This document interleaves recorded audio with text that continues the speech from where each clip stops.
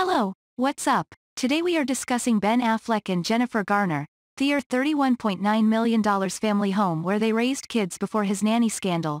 Presently watch this, share with your companions, and we're accompanying selective subtleties in this video. Ben Affleck and Jennifer Garner lived in a million-dollar home before their marriage ended in divorce. A scandal that came out after the union failed said Affleck's attention wandered to his three children's nanny.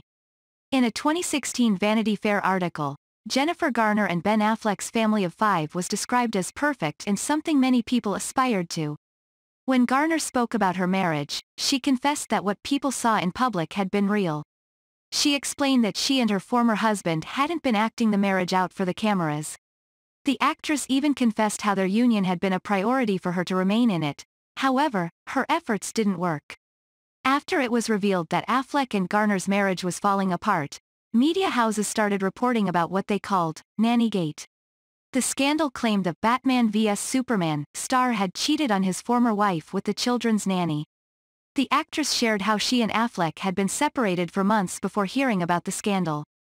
Garner emphasized that their marriage didn't fall apart because of the infidelity, and the nanny Christine Ouzounian hadn't been a part of the equation. The star admitted that the cheating was bad judgment from her ex-husband as it also caused the nanny to disappear from their children's lives. Months after the damage had been done, Garner was still putting out fires.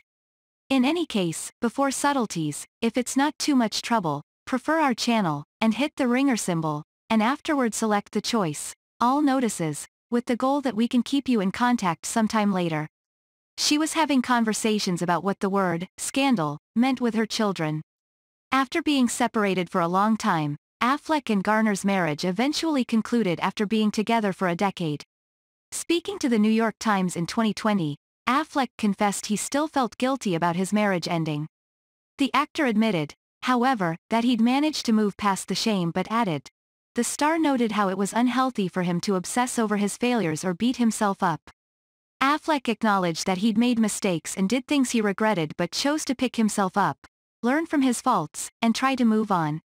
Ouzounian, who was still hogging the spotlight in 2015, was fired from her nanny post after Affleck initially denied that he'd had an affair with her. Garner and her former husband were already separated when the alleged infidelity happened. Garner initially met Affleck in the summer of 2000 while on the set of Pearl Harbor, while she was married to Scott Foley. Then in the summer of 2002, the pair developed a relationship on Daredevil, but stayed with their partners. In May 2003, the actress filed for divorce from Foley, and in January 2004, Affleck and his then fiancée, Jennifer Lopez, called off their engagement.